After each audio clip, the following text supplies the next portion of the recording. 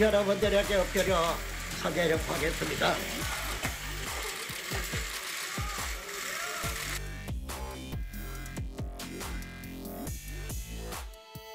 어떤 뭐 친박 세력에 대한 SOS를 친 것이 아닌가 이런 오해를 저는 충분히 국민들은 할 수 있다고 봅니다. 제작업체 로만손과 조달청 다 박근혜 청와대에서 그런 식의 만든 적 없다.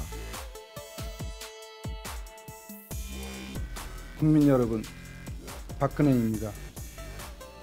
먼저 중국으로부터 유입된 신종 바이러스 감염증인 코로나19의 국내 확진자가 수천 명이나 되고 30명의 사망자까지 발생했다는 소식을 들었습니다.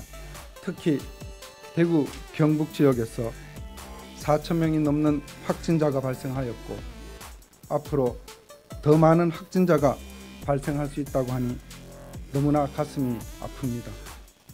국민 여러분, 나라가 전례 없는 위기에 빠져 있고 국민들의 삶이 고통을 받고 있는 현실 앞에서 정치적 유불리에 따라 이합 집산을 하는 것 같은 거대 야당의 모습에 실망도 하였지만 보수의 외연을 확대하기 위한 불가피한 선택으로 받아들였습니다.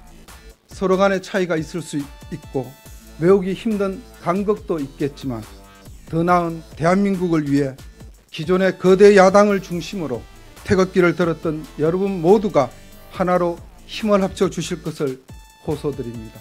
서로 분열하지 말고 역사와 국민 앞에서 하나된 모습을 보여주시기 바랍니다. 저도 하나가 된 여러분들과 함께 하겠습니다. 2020년 3월 4일 박근혜 이상입니다.